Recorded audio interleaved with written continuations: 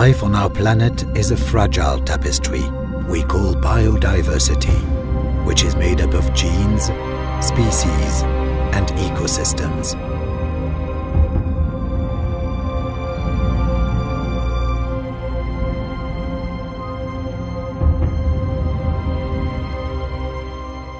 This diversity of organisms is the result of millions of years of evolution, and it is critical for maintaining life on Earth. However, due to human activity, it has become endangered. The fast pace of life resulting from human activities makes it necessary to find a way to protect this biological richness.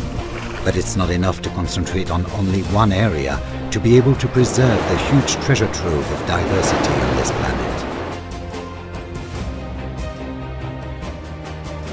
Many strategically located areas of conservation may be part of a network of special places that help protect the myriad of habitats and species on our planet.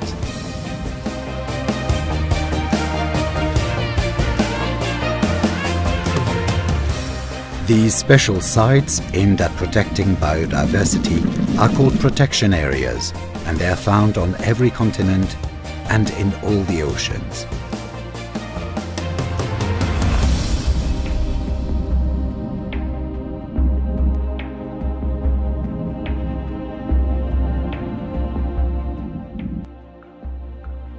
But less than one-sixth of our planet's land and less than one-tenth of the oceans are dedicated to the conservation of biodiversity. In under a quarter of a century, marine protected area coverage has more than doubled. This shows that both governments and society are ever more aware of the importance of marine protected areas, not only to preserve the health of the ecosystems, but to maintain the well-being and health of humans as well. For example, science has demonstrated that fish populations affected by overfishing make good recoveries in protected areas.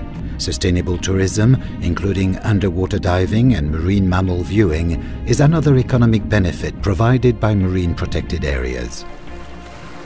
In many of the protected areas, the residents benefit from the ocean's resources by using traditional sustainable practices which are part of the world's cultural heritage. But although these marine protected areas are protected spaces, and despite their great importance, they are constantly threatened. Every year, ships transporting thousands of tons of crude oil and toxic and hazardous substances crisscross our planet's oceans. And, all over the planet, international maritime traffic routes pass through or close to many of the marine protected areas. The accidental spillage of the hazardous substances transported by these vessels has a serious impact on marine ecosystems. Oil may hamper the mobility of some of the animals, but its effects can be even more devastating. A spill can also decimate the populations of fish and many other organisms inhabiting both the seas and the coastal areas. It affects the composition and structure of seascapes, and it may even pose a threat to the economy and human health since it has a direct impact on species of commercial interest. How can we reduce the vulnerability of marine protected areas to the accidental spillage of pollutants? Recent studies on the system of marine protected areas in the United States show that the chances of an accidental spill occurring in areas subject to seasonal protection are 25 times greater than in areas under continuous protection. It was also reported that accidental spills occurred 17 times more often in areas with a broad-based resource management system than in areas with a more restrictive management scheme, focused especially on biodiversity conservation. What's more, the number of spills in areas where commercial fishing is allowed is eight times greater than in protected areas, where this activity is either restricted or banned. These analyses have led to suggestions for managers and competent authorities with the aim of reducing the vulnerability of marine protected areas to accidental marine spills. It would be useful to set up protected areas with specific management objectives focused on ecosystem conservation. It is necessary to ensure the continuous protection of marine protected areas.